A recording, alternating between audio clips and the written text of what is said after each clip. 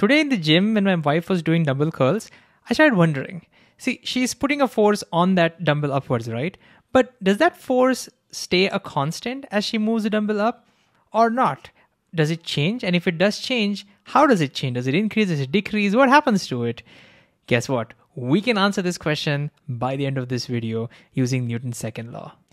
So let's start with a simpler example. We have an ice hockey ground over here, and there's a puck moving on top of it at some speed. If there are no frictional forces acting on this, if we assume that, then the forces acting on this puck would be balanced. I mean, because in the horizontal, you can see that there are no forces because we're ignoring friction. And in the vertical, the gravitational force, which is pulling down on it, is completely balanced by the force that the ground is pushing up on it with, the normal force. They balance it out. And so, since there are no unbalanced forces acting on this puck, from Newton's first law, we know that this thing will continue its state of rest, or in this particular case, the state of uniform motion. So, it will continue to move with that same velocity. But now comes the question what if there was an unbalanced force acting on it? What happens because of that? Well, let's find out. For that, let's just whack it with a hockey stick now. so if I whack it to the right, let's say in this case, I will now put an unbalanced force to the right. What will happen? Well, you can probably guess it. That puck's velocity will now be higher. It'll just get blasted off over there, so its velocity will increase. In other words, it will accelerate. Ooh, this means when there is an unbalanced force acting on, a, on an object, in other words, if there is a non zero net force acting on an object, which is the same thing as saying an unbalanced force, but whenever this net force acts on an object, what does it do? It accelerates our puck. The puck undergoes, or the object undergoes, an acceleration. This is the essence of Newton's second law. Now, all we got to do is analyze the situation even more carefully and see if we can concretize this relationship. So let's do that. The first question we could have is yeah, so a net force causes an acceleration, but how long does that acceleration last? Well, let's see. When the when the stick hits the puck, that's when it starts accelerating which means as long as the stick is in contact with the puck, as long as it's in contact with it, like right now over here, it's during that time there will be acceleration. But what happens once it loses contact? Well, once it loses contact, again, net force goes to zero. And now, coming back to Newton's first law, it'll continue moving with that same increased velocity. This means the acceleration only happened during this time when the hockey stick was in contact with it. In other words, the acceleration lasts as long as the net force lasts. Okay, next let's think about what hap- what would happen if uh, the net force was higher. For that, let's imagine we whacked it harder. What's going to happen now? Well, you can imagine it'll get blasted off even more faster, even faster, right? Which means it'll have a higher velocity when it loses contact ooh, that means there'll be bigger acceleration. So if the net force is larger, it means you'll have a larger acceleration. If the net force is smaller, you get a smaller acceleration. In other words, see, we see a direct relationship between acceleration and the net force. All right, what else can we deduce? Hey, let's think about the direction. What is the direction of the acceleration? Well, in this case, the net force is to the right and our puck's velocity is also increasing towards the right. So in this case, the acceleration is to the right. So in this case, if the net force is to the right, the acceleration is to the right. What would happen if the net force was to the left? So let's imagine we whack that puck now to the left. What would happen? Well, we can again imagine the puck would now get blasted off to the left, but let's look at it carefully.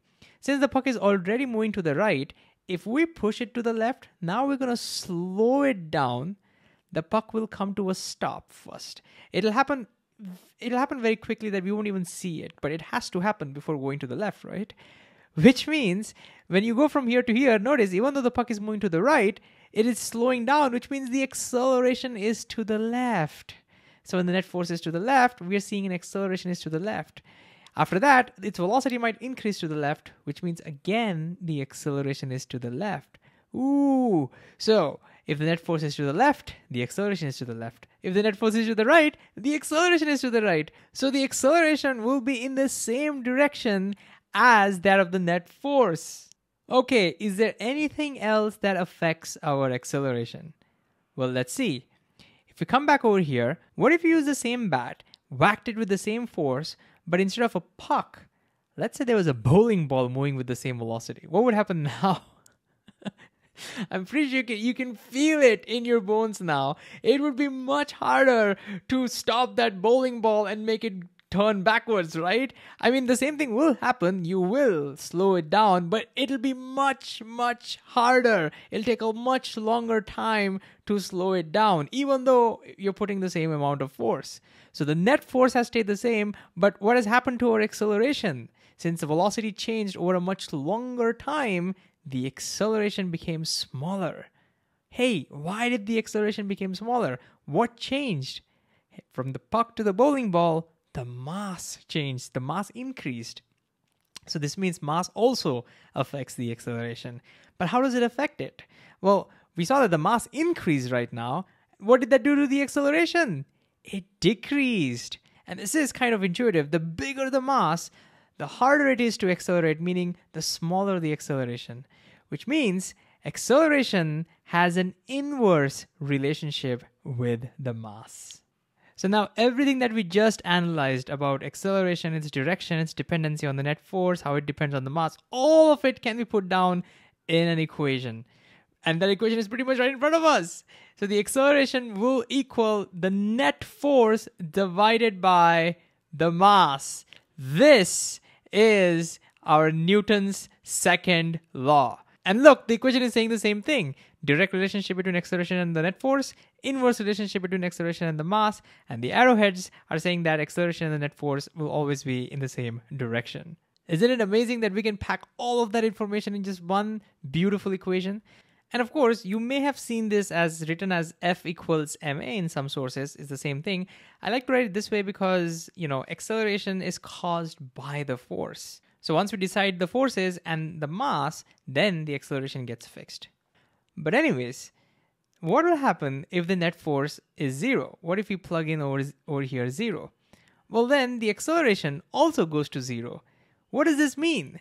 Well, this means we have all the balance forces acting on an object, and if the acceleration is zero, it means that the velocity stays a constant.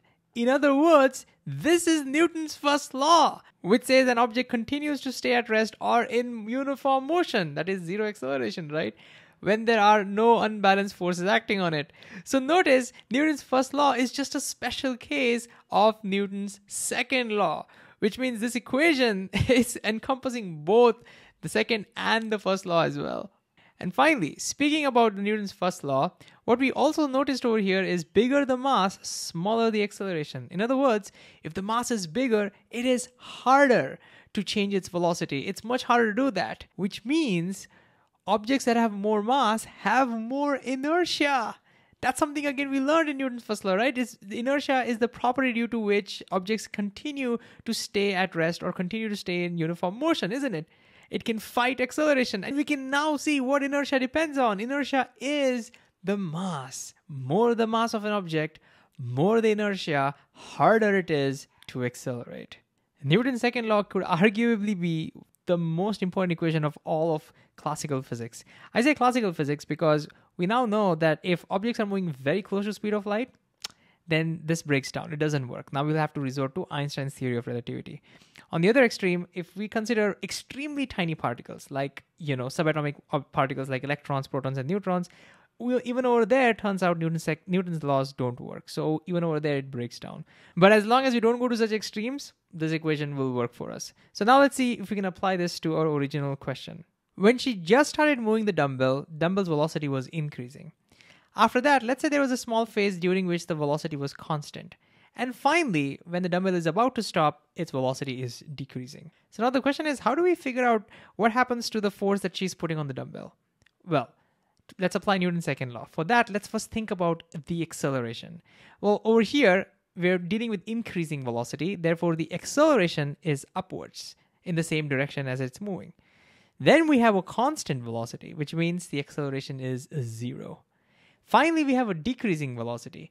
Since the dumbbell is still going up, decreasing velocity, which means acceleration must be down in the opposite direction.